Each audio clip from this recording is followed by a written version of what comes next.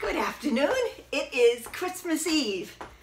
I just got home from work. We worked until 1, ran, did a couple of errands, and I am going to make ham sliders for Christmas Eve. Easy peasy, did them last night. I'm going to do pizzelles. I just got a pizzelle maker. This is going to be the first time I'm a virgin pizzelle maker. And um, it's probably not going to go well, but who cares? It's family night. Makes me happy. Rolling them for cannolis. Now explain to me why this is so hard. I can't get them to roll. They keep unrolling. Now this is just not right. Look, I want to make cannolis. It's just not happening. They're all cracking. Look, come on. They're all cracked. I'm not a happy camper right now. What's wrong with this? So, no cannolis. I have three pounds of cheese. What am I going to do with it? Ricotta cheese. I guess I'm making a, a lasagna tomorrow. I got two. Two. Remove the unit. And they're still white. However, will they roll? Without cracking? No. They're a cracked up mess. Just made my second batch of pizzelles to roll into cannolis and have found out that it's not happening. This batch I made a little thinner. So now you can see through them, but you still can't roll them. You know, if I didn't try so hard, it wouldn't be as big a deal. But all these beautiful pizzelles that are supposed to be cannolis that I really planned on making into cannolis are not going to happen. The other thing I made for tonight, because today's Christmas Eve, are ham sliders.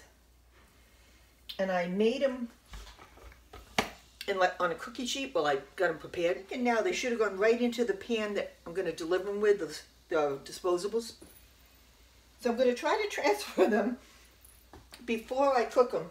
I'm not showing you that because if they fall on the floor, I swear to God, I'm picking them up and putting them in anyway. Just kidding, folks.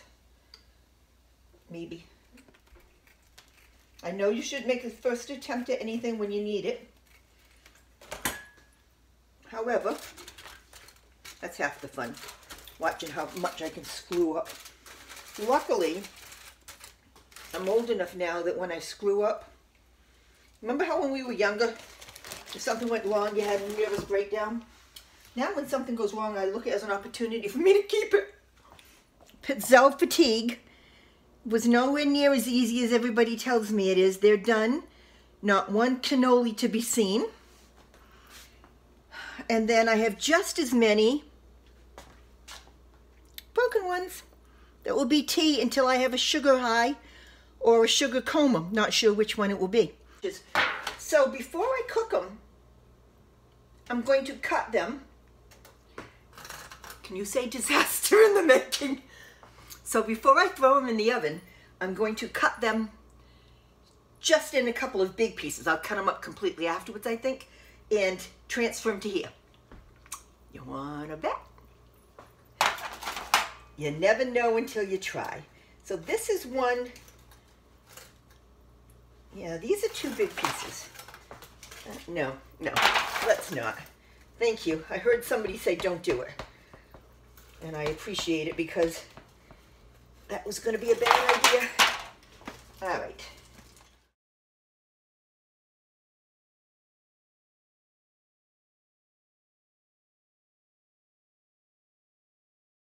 No blood, so I didn't cut my fingers. oh, that didn't work. Look at. Oh God, I forgot. All right, so we have all the bottoms sitting over here. Where are the? Where did they go to? Who's bottomless? Oh, all of you are. Holy moly! All right, you go there. You go here. Okay, you go here. All right. They all have a bottom now, more or less. Oh, the ones that don't can go without.